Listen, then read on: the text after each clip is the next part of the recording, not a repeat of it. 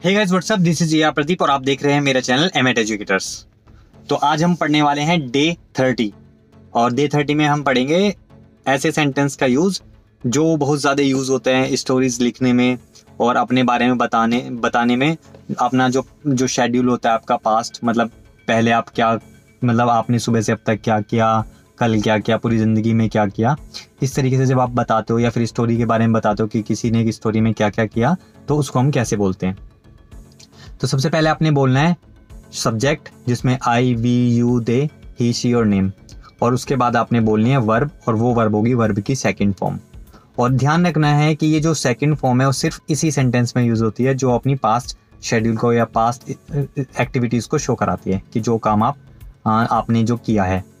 Okay तो आप सबसे पहले आपने बोलना है सब्जेक्ट उसके बाद बोलना है वर्ब की सेकंड फॉर्म और उसके बाद बोलना है आपने ऑब्जेक्ट कैसे? तो इससे पहले आपने ना वर्ब की जो सेकंड फॉर्म है, वो याद होनी चाहिए। मान लो वर्ब की जो फ़र्स्ट फॉर्म है, वो तो हमें पता है go come play eat run think इस तरीके से। लेकिन सेकंड फॉर्म नहीं पता। तो गो की सेकंड फॉर्म क्या है?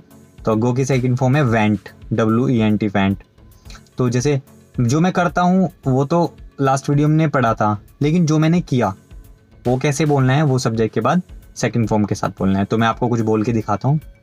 तो जैसे आई वेंट मैं गया, यानी कोई भी काम मैंने किया। आई वेंट आई टुक मैंने लिया। क्या लिया? कोई भी चीज़, जैसे आई टुक बुक्स मैंने बुक्स ली। और आई प्लेड फुटबॉल मैं फुटबॉल खेला। आई सा आई सॉ अ बुक मैंने मतलब मैंने देखा, एक बुक देखी। और आई हर्ड अबाउट यू मैंने तुम्हारे बारे में सुना। तो इस तरीके से क्या है यूज़ करते हैं हम सेकेंड फॉर्म का।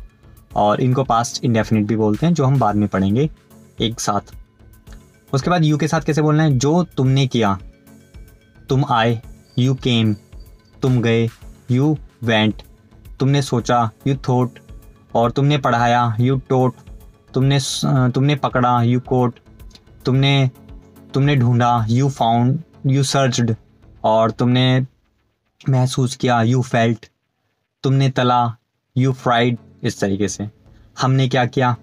हमने सोचा वी थॉट हमने हमने देखा वी लुकड हमने, हम पढ़े, यानी हमने पढ़ाया, हम पढ़े तो वी स्टडीड हमने पढ़ाया वी टोट हमने सुना वी हर्ड हमने बोला वी सेड ये वी वी स्पोक और उन्होंने क्या किया?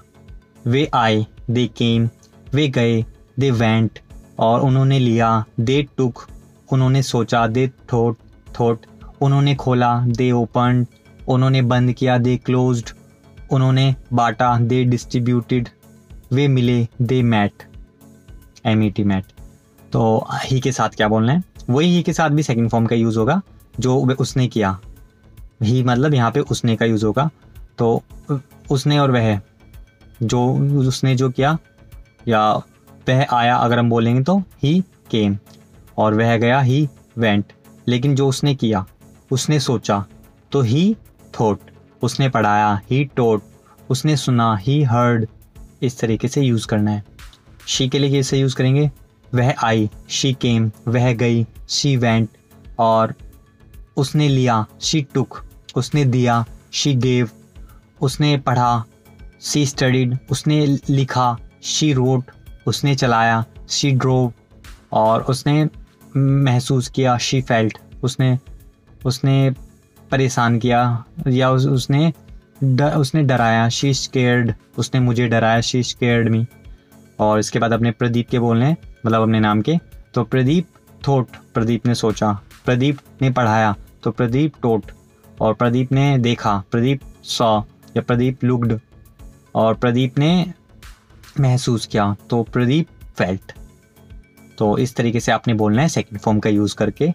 और सेकंड फॉर्म की एक जो सेकंड फॉर्म यूज़ करनी है आपने, वो जल्दी मैं अपलोड कर दूँगा वीडियो इसके ऊपर कि कौन कौन सी सेकंड फॉर्म आपने यूज़ करनी है जो आप जल्दी सीख पाओगे बोलने की प्रैक्टिस करने के साथ साथ जिसमें आपकी स्पोकन और रिटर्न और अंडरस्टैंडिंग वो सारी चीज़ समझ में आ जाएगी।